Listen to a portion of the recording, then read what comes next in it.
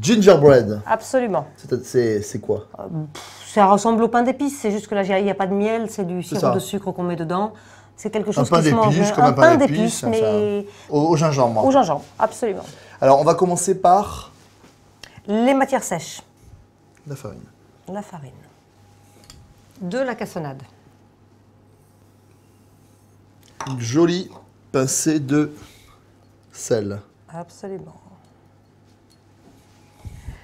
Ensuite, on a les épices, Gingembre, absolument. voilà. Clou de girofle. Clou de girofle. Et là, t'en mets euh, Et là, j'en mets pas mal. donc belle c'est quantité. Et on rajoute la cannelle. La cannelle, absolument. Toujours la cannelle. Toujours la cannelle.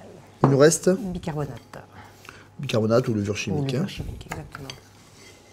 Ça sent déjà bon. Hein. Alors, on y va. On y va. Ensuite, on va faire fondre. Donc là, tu l'as mis à chauffer, oui, absolument. Donc du beurre. On va faire fondre le beurre doucement. Alors, on met deux cuillères à soupe de? Deux cuillères à soupe de golden syrup, qui est un sirop très clair de sucre, très caramélisé. C'est beau. Et on dirait, tu sais, on dirait un petit peu un sirop d'érable.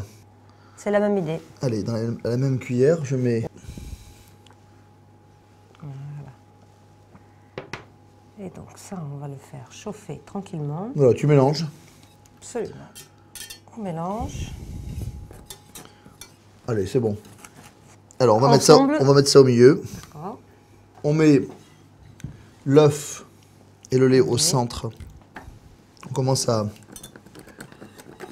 Attends, tu le verses Donc là, c'est fait. Et je te verse ça par-dessus. C'est brun, hein Très très. Et c'est le, le black treacle qui fait ça. Pour éviter les grumeaux. Toujours, on remet comme ça. Et petit à petit, Tu tu a ça, tout s'écroule là, tu vois. Et puis, On a chemisé un moule, alors vous pouvez prendre un, un moule à cake, euh, ce que vous voulez. hein.